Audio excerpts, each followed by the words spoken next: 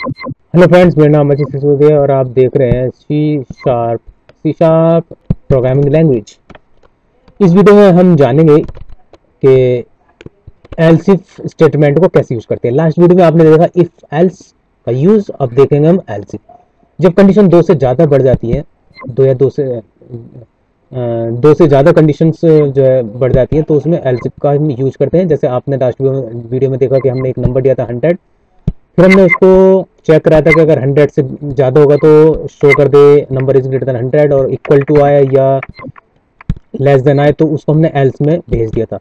लेकिन हम चाहते हैं कि वो एल्स में जो हमने भेजे हैं दोनों इक्वल टू और लेस देन उसमें से भी एक कंडीशन बाहर निकाल लेते हैं।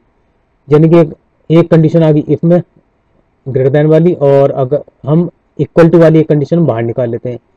कि अगर नंबर इक्वल टू है हंड्रेड के तो उसमें शो करा दे कि नंबर हंड्रेड से इक्वल टू है ठीक है? The number is equal to hundred और लेस आए तो वो चला जाए एल्स में तो हमें यहाँ पर एल यूज़ करना होगा, क्योंकि एक से ज़्यादा कंडीशन जब आप यूज़ करेंगे, दो से, ठीक है, कितने भी else if else if else if आप कितने भी यहाँ लगाते जाइए। तो ठीक है, आग एल को हम यूज़ कर रहे हैं। तो मान लीजिए हमने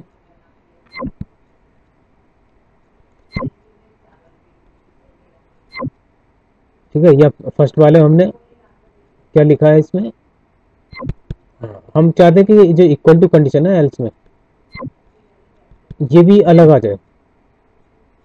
ठीक है, क्योंकि यहाँ दो दो आ रहे हैं एल्स में।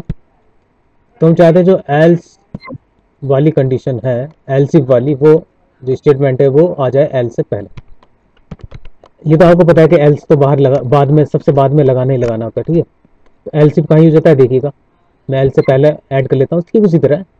एल सिर्फ़ जैसे एल एल से लगाते हैं, उसी के आगे पर इफ़ लिखना होता है, और एक ये पैरेंथेसिस जो ब्रैकेट है स्मॉल ब्रैकेट लिखने होते हैं, ठीक है? और बॉडी के लिए तो आपको पता है कर्ली ब्रैकेट का यूज़ होता है तो यहाँ हम इक्वल वाली कंडीशन को बाहर निकाल लेते हैं, यानी कि नंबर इक्वल टू हंड्रेड और जो एल्स में दिया हुआ है स्ट्रिंग में प्रिंट कराने के लिए इक्वल टू वो, वहाँ से हम इसको डिलीट कर लेंगे टेक्स्ट को हटा लेंगे।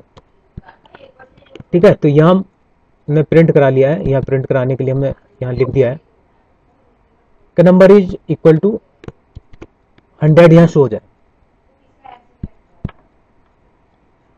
तो यहाँ पर इक्वल टू शो करा लेंगे और एल्स में रह जाएगा लेस देन तो लेस देन प्रिंट हो जाएगा, ठीक है? तो यहाँ हम जब प्रिंट कराएँगे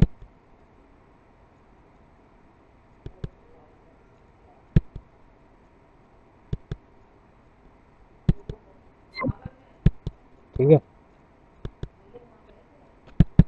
तो देखिए यहाँ ग्रेटर देन प्रिंट हो गया।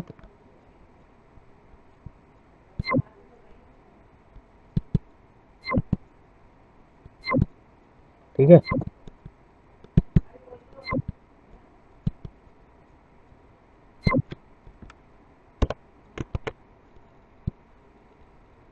और इक्वल टू अगर लेके देख लेते हैं तो इक्वल टू प्रिंट हो जाएगा। ठीक है, अब हम ले लेते हैं इक्वल टू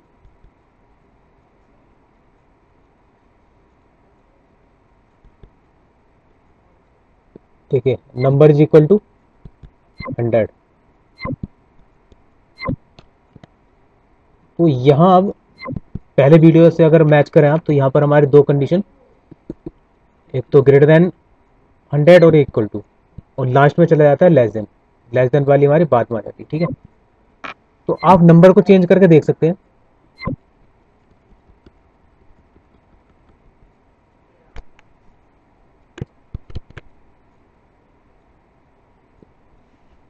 तो जैसे जैसे कंडीशन आपकी बढ़ती रहेंगी जैसे जैसे कंडीशन आप ज़्यादा लेना चाहेंगे तो आप यहाँ एलसी अपनी एलसी आप बढ़ाते जाइएगा। तो यहाँ नंबर को मैं सेवेंटी करके देख लेता हूँ, ठीक है?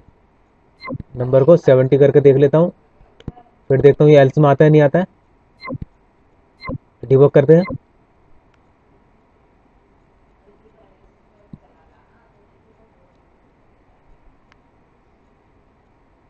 यहाँ आप देख सकते हैं। ये देखिए। नंबर इज़ लेस देन 100 देखा आपने? दो कंडीशन जो ऊपर हमने ट्रू में रखी है। एक इफ़ में रखी है और एक एल्सिफ में। और उसके बाद जो कंडीशन होगी वो एल्स में चली जाएँगी ठीक है? तो यहाँ तो फ़िलहाल इसके अकॉर्डिंग तो एक ही बचेगी कंडीशन एल्स में चला जाएगा।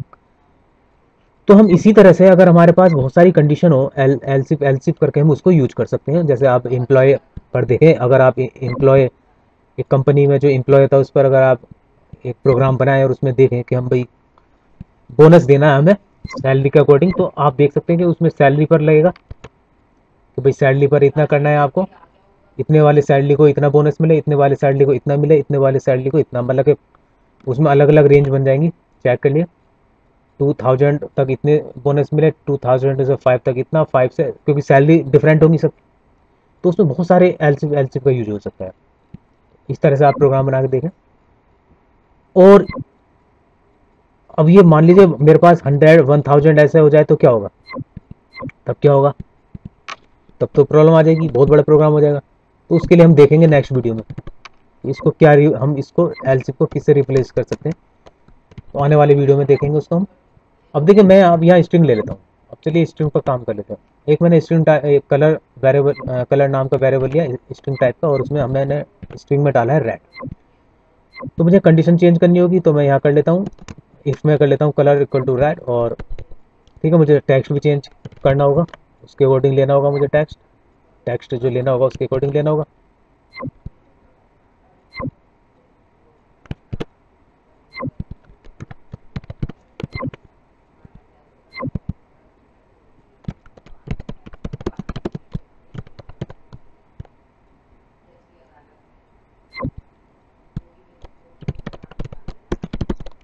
तो हम चेंज कर लेते हैं एल में हम कलर ग्रीन ले लेते हैं, और यहाँ लिख लेते हैं console dot console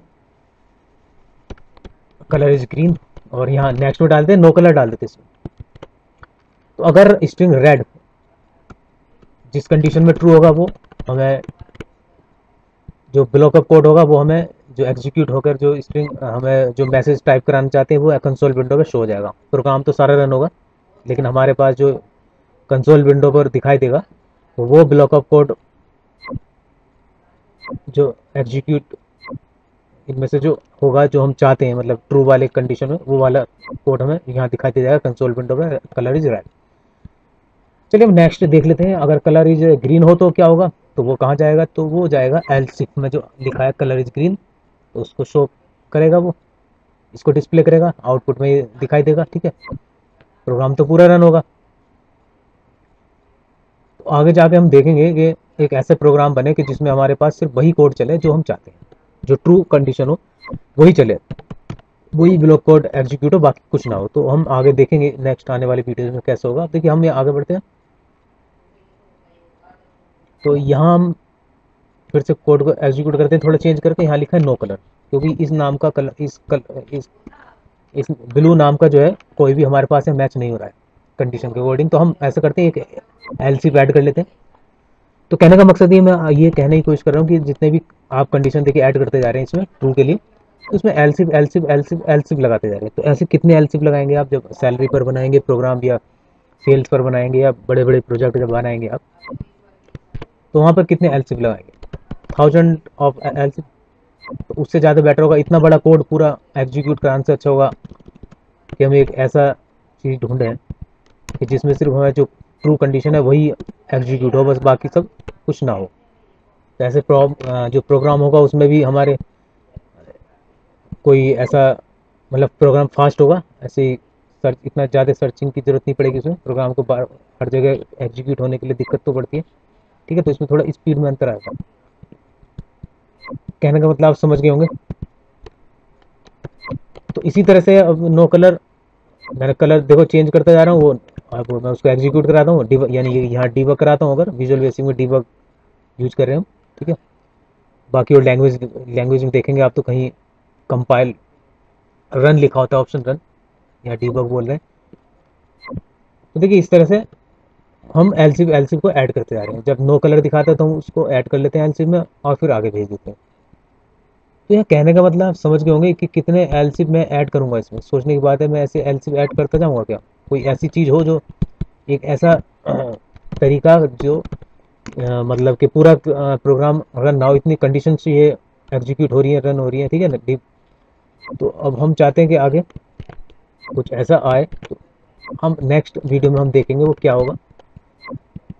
कि सिर्फ़ हम जो ए, ए, जो कंडीशन हम रन कराना चाहते हैं तो सिर्फ़ वही चीज़ जो है एग्जीक्यूट हो और बाकी जो है प्रोग्राम से वो उस कंडीशन से बाहर आ जाए। तो दोस्तों अभी तक आपने चैनल को सब्सक्राइब नहीं किया तो सब्सक्राइब ज़रूर कीजिए लाइक ज़रूर कीजिए और शेयर तो ज़रूर कीजिए ताकि वीडियोस बहुत लोगों के पास चला जाए ठीक है चाहे और काफ़ी उसको हेल्पफुल हो। तो बाकी वीडियो आप, आप देखेंगे तो यूट्यूब पर भी बहुत सारे वीडियोज़ पड़े होते हैं आप कोई भी वीडियो दे सकते हैं जो भी आपको अच्छा लगे।